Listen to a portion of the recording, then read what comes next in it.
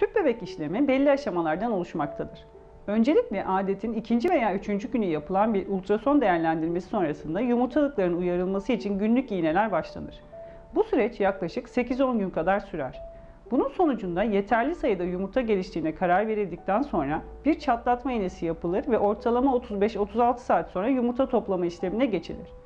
Yumurta toplama işlemi genel anestezi altında transvajinal ultrason eşliğinde yumurtalıklara bir iğne yerleştirilerek folikül dediğimiz içi su dolu keseciklerin içinden yumurtaların toplanmasıyla yapılır. Yumurta toplama günü erkek partnerden sperm örneği alınır. Nadir durumlarda ameliyat ile sperm elde etmek gerekmektedir. Bu aşamadan sonra laboratuvar ortamına geçilir.